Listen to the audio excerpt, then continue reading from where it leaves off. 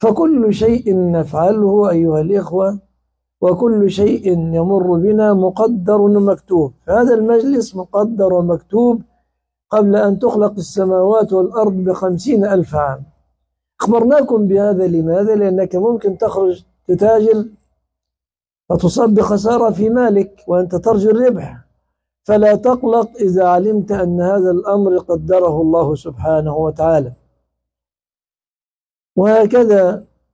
وربنا يقول لأهل الإيمان قولا يا أيها الذين آمنوا لا تكونوا كالذين كفروا. في ماذا يا رب؟ قال وقالوا لإخوانهم إذا ضربوا في الأرض أو كانوا غزا لو كانوا عندنا ما ماتوا وما قتلوا.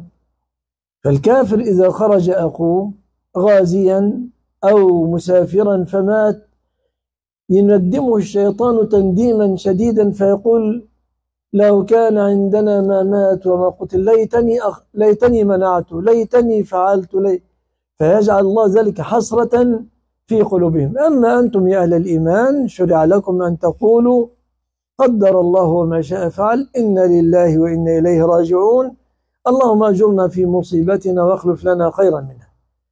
فلنا هدي في هذا الباب. فكل الأمور التي تحدث أيها الإخوة وتجد في هذا الكون مكتوبة ومقدرة تقديرا.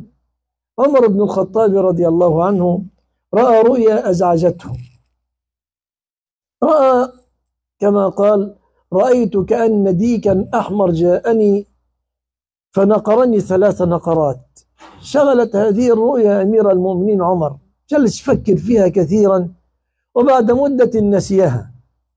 فلما جاء أبو لؤلؤ المجوسي وطعنه ثلاث طعنات وهو يصلي قال وكان أمر الله قدرا مقدورا. لا يستطيع الشخص أن يفر من الذي قدر له بحال من الأحوال. فالمقدر لابد وأن ينفذ فينا. الرزق مقدر وهذا لا ينخرم لا ينخرم أبدا. وفي السماء رزقكم وما توعدون فورب السماء والأرض إنه لحق مثل ما أنكم تنطقون دخل عمر رضي الله عنه يصلي صلاة العشاء خلف عبد الله بن السائب رضي الله عنه.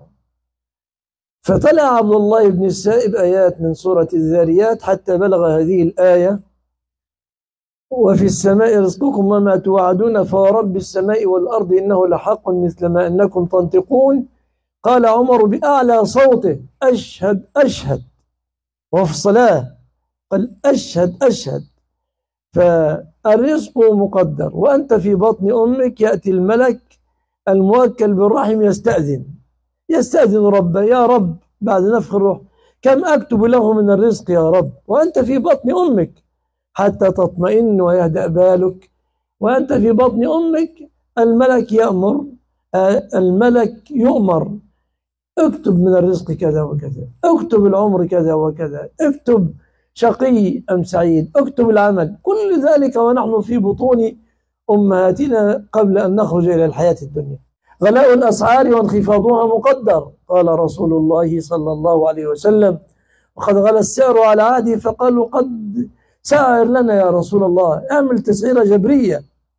فقال إني أخشى أن يأتيني الناس يوم القيامة يطالبونني بحقوقهم ولكن إن الله هو القابض الباسط المسعر ولكني أدعو الله سبحانه وتعالى يدعو الله أن يخفض الأسعار.